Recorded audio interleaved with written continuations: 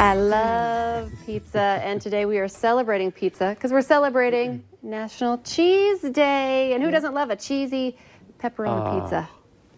I love this. So we want to talk pizza, and Cheryl Barrett with Marco's Pizza knows all things about cheesy pizzas, and you join us today. Thank you so much for coming Oh, in. thank you for having me. Can we talk a little bit about just the world's obsession with cheese? Maybe it's Americans. Why do we love a cheesy pizza so much? I can't tell you why. We just do. Are, do, do you profess your love for cheese like Oh, I do? Yeah. The more the merrier. So you guys reached out to us because you said this is the perfect day to talk about making a pizza because you can't have pizza without the cheese. So talk a little bit first because maybe we'll even show. We got a big, and it's hot, Chris, so that we can have a hot piece of pizza. We're gonna uh, show you, Cheryl. That was very Oh, nice. a, a cheesy piece of pizza, and then you're gonna kind of show us the secrets of making one at home. Although I prefer just to order my Marco's pizza, but Mo- most people, yeah, I just don't want to do all the work ourselves. It's a lot of work, yeah. Okay, so, we're kind of doing it backwards, but I want to, I want to, oh, I I want to show off.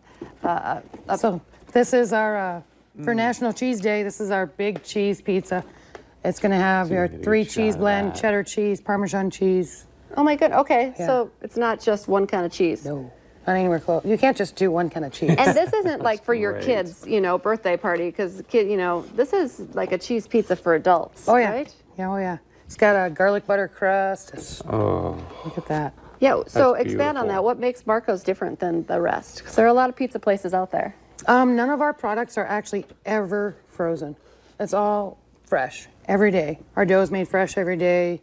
Uh, sauce is made fresh every day. So nothing comes in frozen. So we have to actually take the time to make the products, cut it, make it ready for the guest. Okay, let's make a pizza. Yeah, Even though show we got one. skills. Yep. Here, do I don't know want- do you about- a piece to eat while she does her thing? no, I'm good. Because I might need to, I might need to help here. Okay. Oh, I asked you because earlier today on the Valley today, we also Abby Furchner was with you, and she was making some pizzas, and she was throwing pizzas. Correct. But- um, I was actually trained that that can actually hurt your dough. So Marcos does not normally throw their pizza up in the air. But they do in the movies. They do. They it do looks the- it looks fun. Okay, so uh, what do you what do you need to do here? So it's a little trickier. In the store, we have a, a dough stretcher that kind of helps us a little bit form the pizza into the right shape. So trying to do it by hand can be a little tricky, but we're going to try. Um, and then we finger dock it, just like I did this morning. And What does that do? Like, get all the. it it's going to create an area for all your toppings to sit. Ah, okay. So then you leave the center a little bit of a, a, a hill in the center. So when you put all your toppings in there, they don't fall off to the side. Oh well, That's important. It is. You'd be surprised on how I, I learned so much from working at Marco's on how to make most amazing pizza. There's a science behind this. Oh yeah, definitely. Okay, and you had said so. Part of it with the throwing it, you said people often when they're making their own pizza dough, they spend too much time with it.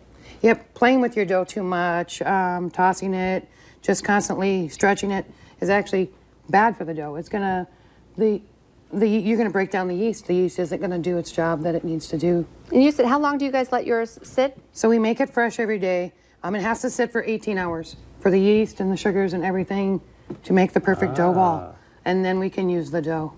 Okay.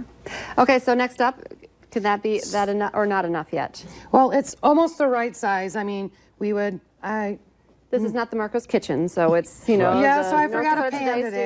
Studio. uh, I forgot a pan. So normally it would be something similar to that, and like I did, I did bring a ladle so we can actually excuse my Tupperware.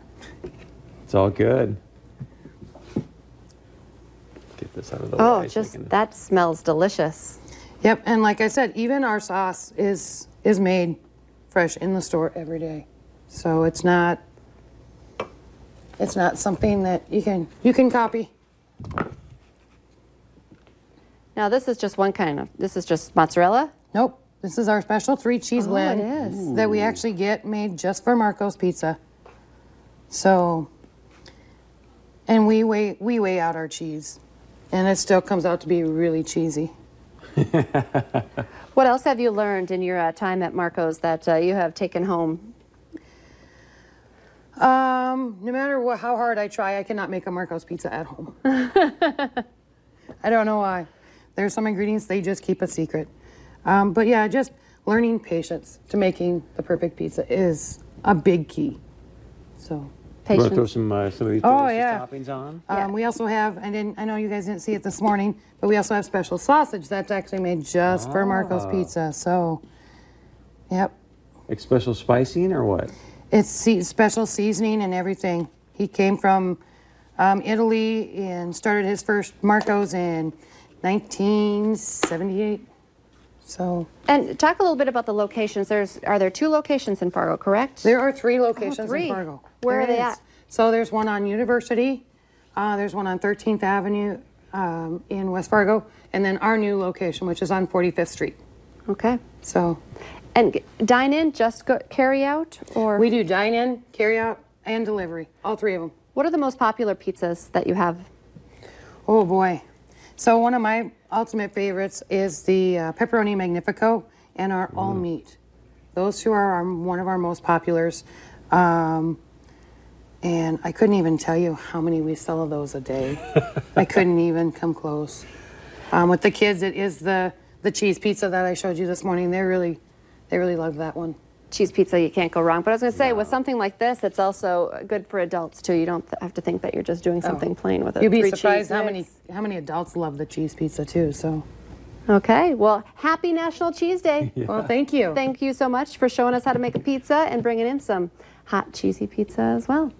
All right, stay with us. We'll be right back with your daily motivation.